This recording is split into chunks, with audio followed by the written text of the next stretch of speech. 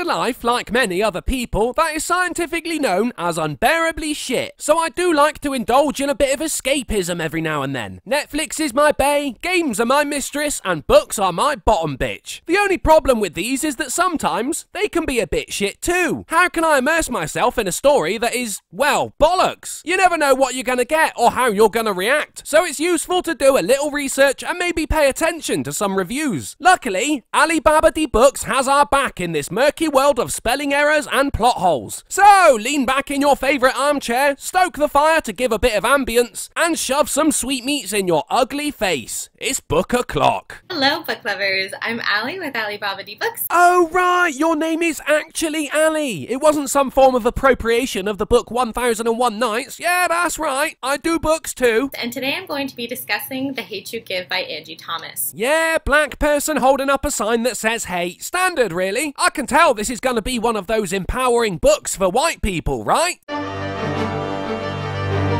I discuss police brutality, murder, and rape in this video. I like all of those things. Carry on.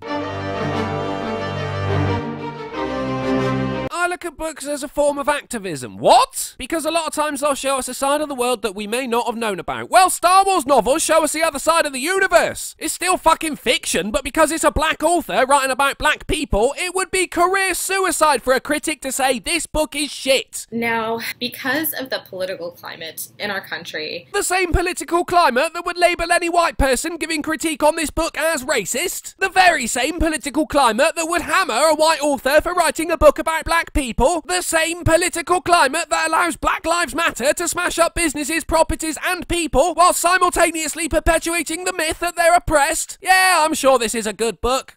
And the political statements that have been made on BookTube, The fuck is BookTube? Sounds like a porn site for librarians. I want to make it very clear that I am not getting on a soapbox and preaching in this video. Okay, you hear that, everyone? She's not preaching in this video. At least not this time, but take note of that. It might come in handy later. I am discussing the feelings that I had while I read The Hate You Give by.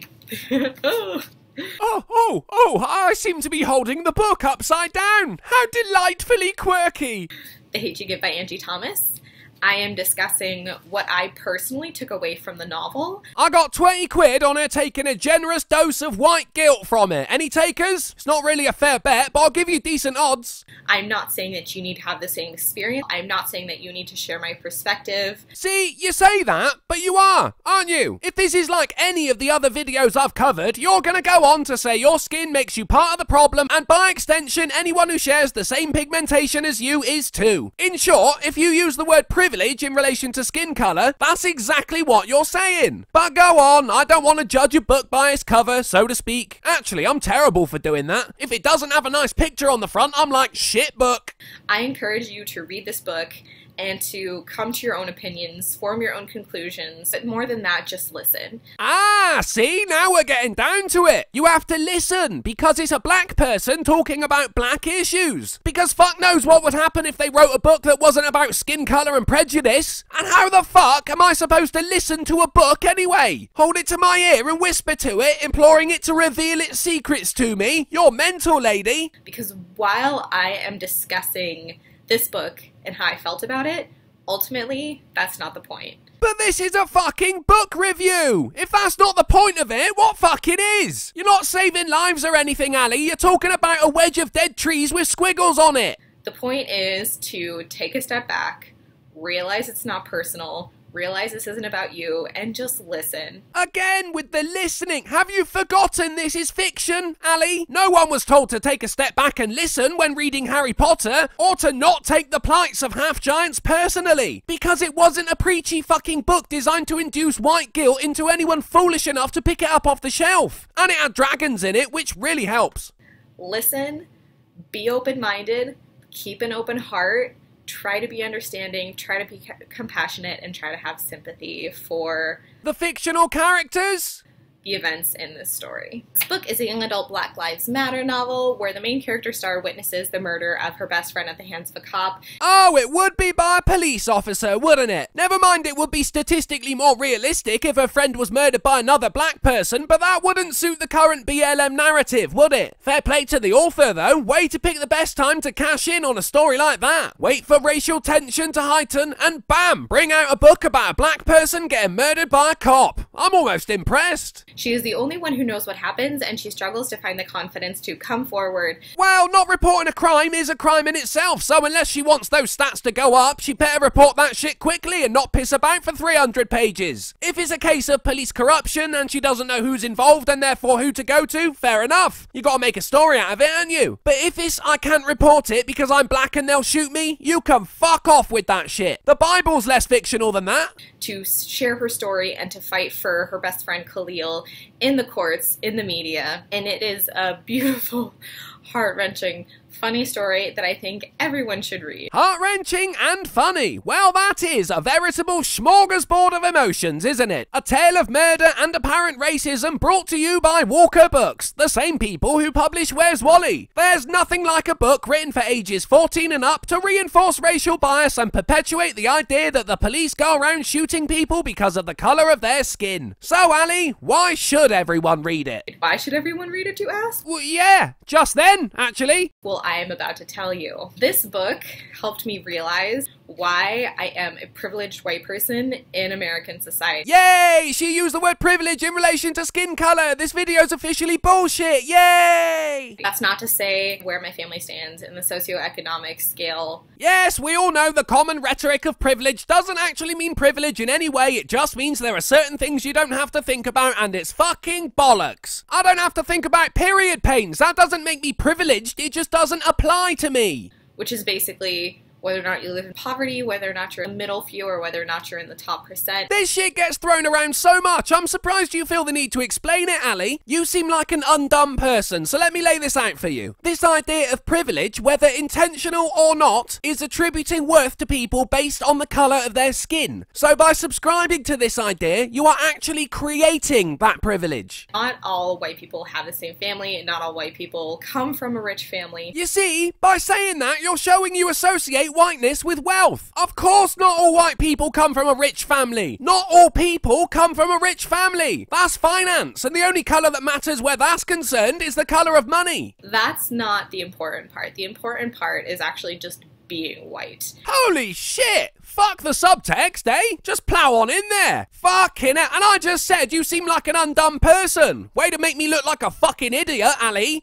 And the invisible benefits that you don't realize come along with that. If I do get invisible benefits because of the colour of my skin, as you so retardedly put it, then how is it a problem? And I ask you lot again and again, but I never get a fucking answer. What benefits? And don't rattle off a list of things I don't have to worry about. That's not a benefit, it's just a lack of a similar downside. One of the things, not a spoiler, that really stuck out to me in this book was the fact that Star, Shit name. when her father gave her the birds and the bees talk, he also had to give her the talk telling her how to act around cops to avoid getting hurt. That's not something that's gonna mess up a child for the rest of their life, is it? You ever acted suspicious around the police? Fuckers pick up on that quite easily. But yeah, make your children nervous of the authorities from a young age. That won't cause any lasting damage. He told her to make sure her hands were always visible, never to make any sudden movements. Don't commit any fucking crimes would be sound advice, really. The police aren't on commission or anything. Chill out. I think there were a few other things that I can't remember, but just the fact that this is something that people of color deal with Please remember you read this in a fucking story. I'm not saying parents don't tell things like this to their children, but remember where you learned this. It's going to be the kind of thing for if you're living in the ghetto. In the ghetto? Don't imply it's the kind of thing Barack Obama had to teach his children too. If you live in a neighborhood with a high crime rate, the police will associate you with it because they're not too keen on getting shot either. on a daily basis and have to teach their children is ridiculous. Probably stemming from the era when this shit was actually applicable to every black person, and we're talking way back when now. But somehow that chip on the shoulder has been passed down from generation to generation. Everyone's got family heirlooms, I guess, but passing down a fear of the police is just fucking stupid. Law enforcement should keep people safe. It shouldn't make members of their society teach each other how to stay safe from them. Again, Ali, this only applies to those in the hood, doesn't it? Association with crime in an area with high levels of it. Your problem is with geography. This shit doesn't happen in the fucking Hamptons. That, that's that's a posh area, isn't it? The other thing this book does a great job of doing is making you realize that in the cases of cops shooting people of color, you're blaming the victim. It really depends on why they were shot, doesn't it? If they were waving around an MP5, then yeah, you're gonna get popped. Skin color's irrelevant. That's not victim blaming, that's common fucking sense. Originally, when the news started breaking of all these shootings that were happening, by cops of people of color. I mistakenly fell into that mindset of feeling sympathy for the cops, feeling bad For the person who took a human life and has to live with that forever? for the backlash of what had happened to them and their family by getting death threats, by getting physically attacked, when that's not the point. Sorry, their family's getting death threats isn't the point. What has this book done to you, Ali? Did it reach inside you and crush your compassion? Did it stick its dick in your empathy? What happened to you, Ali? I'm worried. The point is, regardless of how the person of color acted to the cop, regardless of what happened in their life, regardless of the type of person they were, Fuck it, what if they're a criminal? Are you actually implying black people can't commit crimes, or am I strawmanning the shit out of this? they were murdered.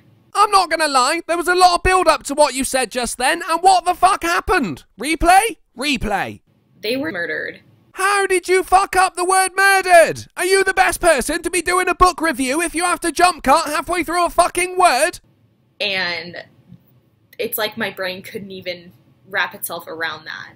So the way the story does that is her best friend Khalil is accused of being a drug dealer and he's accused of being in a gang. Star and Khalil. Were they trying to hammer it into the readers' heads? These characters are black. Can't mention any spoilers, but I will say the way Angie Thomas writes this book, neither of those things matter. And at the beginning I was like, "Oh yeah, you know, maybe he is a drug dealer. Maybe he is a gang member."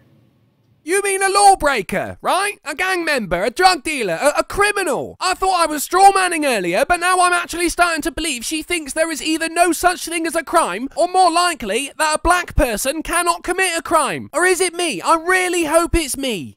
Doesn't matter. In the end, it really doesn't matter. You've just mentioned two occupations almost certain to be armed. Are you fucking crazy? And the reason I realized I had that mindset of blaming the victim is I thought of women and rape. You've somehow managed to associate black people getting killed by the police with a woman getting raped. And there is still so much more of your video to go. When a woman gets raped, people ask, well, what were you wearing? Well, how did you act? Well, had you been drinking? Oh, for fuck's sake. Clothes, yeah, so the police can gather any evidence. Or shoot you for being black. But I still can't believe how you turned this around. It is the same thing as wondering whether or not a person of color who had been shot, if they were in a gang, if they were selling drugs. Those things don't matter because you're blaming the victim. It's the. How? Is she a genius or is she ass clenchingly dense? I don't know. And worse than that, There's more? What's worse than being killed? Torture? Is it torture? a rape victim can at least speak out for herself and defend herself. A person who's been shot and killed can't. Well, thank you for that. Someone inform the judicial system. It turns out we've been wasting money on interrogating corpses. We thought they were just all working together, but we were wrong. We were wrong. Oh, can't believe I forgot to mention this earlier. Let me guess. You're schizophrenic. The main character, Star, has a romantic relationship with a white boy. Ah, it's a big deal. And so not only does she deal with this Black Lives Matter movement, but she also deals with an interracial couple, and that totally comes into play in the story. But I love Chris. He is a goofball. He is so funny. Star, Khalil, and Chris. Is there a whiter name than Chris? Maybe Brent. I've never met a Brent. Tis a punchable name. He is so cute. Can see whether or not they can overcome their racial differences to be together, but I ship it. Uh, oh, I, I only paused it for the thumbnail. Really? Uh, racial differences. Ha! What's wrong with a black girl and a white guy, you racist bitch? Nailed it. It changed my life. It changed me as a person. It gave me a beautiful new perspective on the world that I didn't have before. Believing you're inherently racist doesn't sound all that much a beautiful world, Ali. It definitely opened my eyes to the point where I started reading a contemporary novel after this, and in my head I started picturing all the characters as people of color. Who gives a f- What does it matter? Really? It's fiction. You can picture them as fucking platinum third gophers if you like. But oh no, good for you, Ali. Well done picturing black people. So progressive. You fucking simpleton. Which even though the writer didn't intend, I did it. And I was like, go me, I'm being diverse. Oh my fuck, I'm done. This started off so well, didn't it? Back when it was about a book, then it changed to Black Lives Matter, then it was rape, then it was a book again. Kind of like one of those dreams that's well fucked up, and when you wake up, you just lie there thinking about that dream and wondering how the hell you got from one part to the other. It was like that, but with racism. But then, what did I expect from a review of a book called The Hate You Give? Personally, I'd have called it The Shit You Talk. Thanks for watching, guys. Special thanks to all my patrons for supporting this channel. If you have an overwhelming urge to be like them, the link is in the description. And remember, even the most racially progressive books are still in black and white.